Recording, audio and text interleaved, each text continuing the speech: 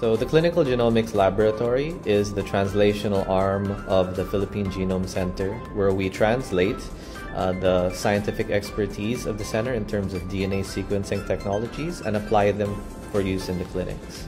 So, the original um, uh, applications or what we envisioned the clinical genomics laboratory to focus on initially were um, in the field of cancer, for example, where we utilize it for the diagnosis of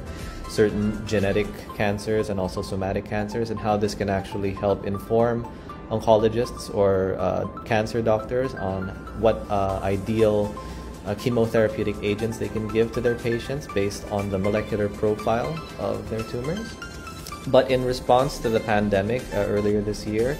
um, the Genome Center took it uh, as an opportunity to uh, utilize its expertise in uh, molecular based modalities and um, answer the call of the country essentially uh, with regard to the need for uh, testing, specifically for COVID 19.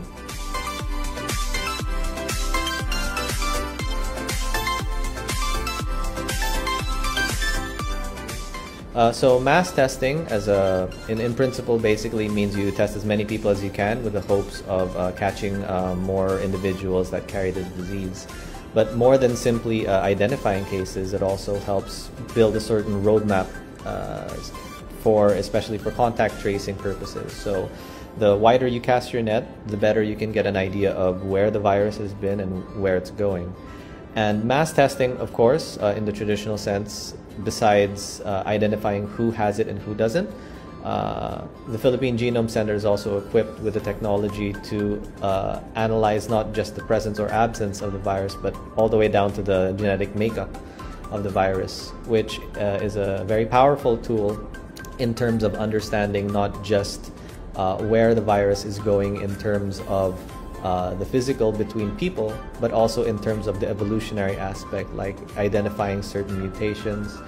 and um, certain possibilities how these mutations might translate to effects in the clinics. For example, maybe it's more infectious as a result of a mutation, or it might be worse in terms of outcome. So, all of this can be